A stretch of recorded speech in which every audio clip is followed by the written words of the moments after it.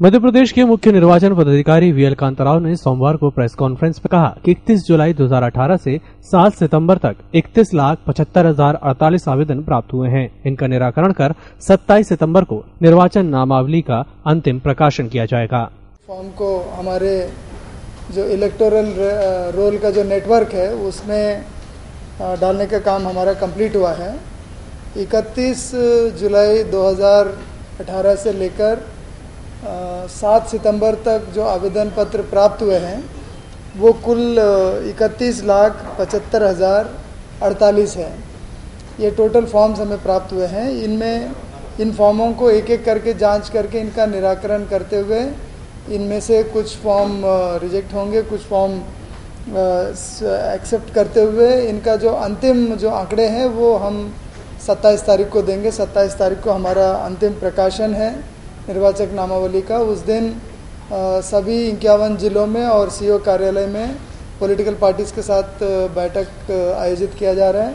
उस बैठक में ज़िलों में प्रिंटेड कॉपी दी जाएगी। उस ज़िले की मतदाता सूची की और यहाँ पर हम पूरे मध्य प्रदेश का मतदाता सूची एक सीडी में आ, हम सातों जो रिकग्नाइज्ड पॉलिटिकल पार्टीज़ हैं, उनको देंगे। जो फॉर्म आए हैं, इनमें नाम जोड़ने के लिए सोलह लाख बहत्तर हज़ार आठ सौ पाँच हैं और नाम काटने के लिए सात लाख तैंतालीस हज़ार चार सौ नवासी है और जो डिटेल्स नाम में या एड्रेस में संशोधन करने के लिए छः लाख बावन हज़ार छियासी फॉर्म आए हैं और जो एक ही विधानसभा क्षेत्र में एक मोहल्ले से जो दूसरे मोहल्ले जाने में जो संशोधन होता है, उस प्रकार का एक लाख छः हज़ार छः सौ तिरसठ है।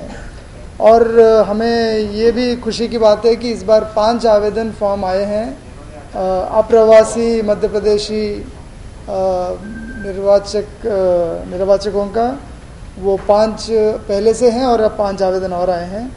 तो इस प्रकार इकतीस लाख पचहत्तर हज़ार अड़तालीस फॉर्म हमें प्राप्त हुए हैं। इनका निराकरण का जो विवरण हम सत्ताईस को देंगे, लेकिन जो जो फॉर्म प्राप्त हुए हैं, इनका जिलेवार संख्या हमने आपको अभी वितरित की है। आप देखेंगे कि जो नाम जोड़ने के जो फॉर्म प्राप्त हुए, पिछले बार किसी ने पूछा था, सबसे ज़्यादा नाम जोड़ने के फॉर्म प्राप्त हुए इंदौर ज़िले में। और नाम काटने का भी सबसे ज़्यादा फॉर्म प्राप्त हुए इंदौर ज़िले में। और जो नाम और पते में संशोधन का सबसे ज़्यादा गुना ज़िले में प्राप्त हुए हैं। और एक विधानसभा, एक ही विधानसभा में जो एक मोहल्ले से दूसरे मोहल्ले में जाने वाले वोटर्स हैं, उनका, उस प्रकार के सबसे ज़्यादा फॉर्म भिंड ज़िले के हैं। ये जो फॉर्म प्राप्त हुए हैं, इससे हमारी उम्मीद ये है कि जो हमारी जेंडर रेशियो है, वो 905 से 917 तक पहुँच जाएगा। जैसे जनगणना में जेंडर रेशियो होता है कि हज़ार पुरुषों के बीच में कितने महिलाएँ हैं? जैसे मध्य प्रदेश में 2011 के सेंसस में हज़ार पुरुषों के बीच में 931 महिलाएँ हैं।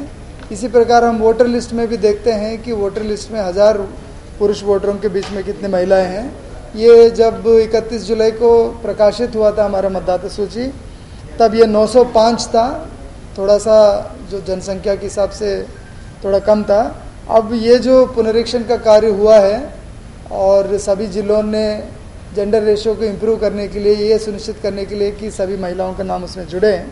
तो ये लगभग 10-12 पॉइंट बढ़कर 917 पहुँचने को उम्मीद है। भोपाल से ईएमएस टीवी के लिए कैमरामैन नितिन मालवीय के साथ आकाश सोनी की रिपोर्ट।